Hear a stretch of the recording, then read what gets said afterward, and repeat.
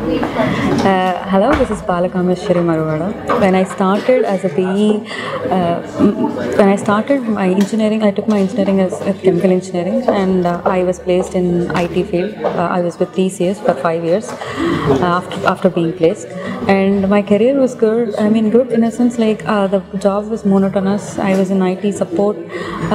I didn't know what to do with or where to go or what have to be the next because we all expect a career growth or career improvement in our lives.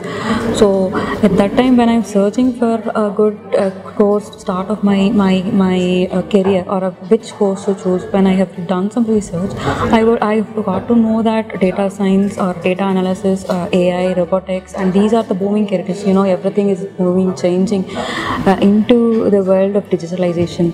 So so when when there is lots of data we have lots of growth and opportunity in this career. So when I got to know uh, data science being data scientist is the sexiest job in in uh, in, uh, in this era.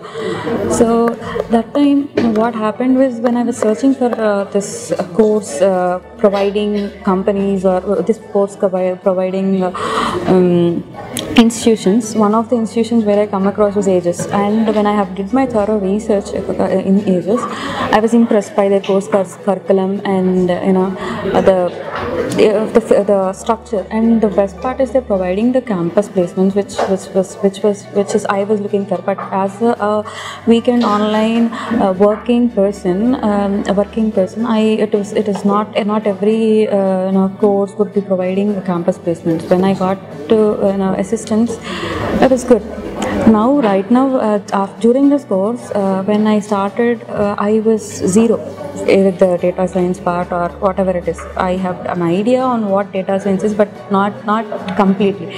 During this 11 months course whatever i went through i had a clear understanding on what is happening how the things happen how the real world works actually what are the expectations of a data scientist what is the expectations from an experienced person as uh, who want to enter into the data science field and when uh, and i've got to know where i stand in, in from a data scientist data analyst uh, are different roles. I, I got to analyze myself and stand uh, and choose a job which i like to pursue.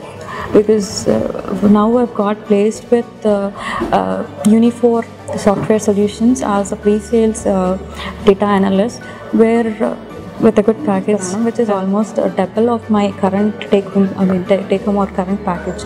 So I am very grateful to the organization which provided me this opportunity to be and pursue my career. This has given a good start for me in my career uh, to be a data scientist or whatever role I have, I, I choose to be with. So thank you.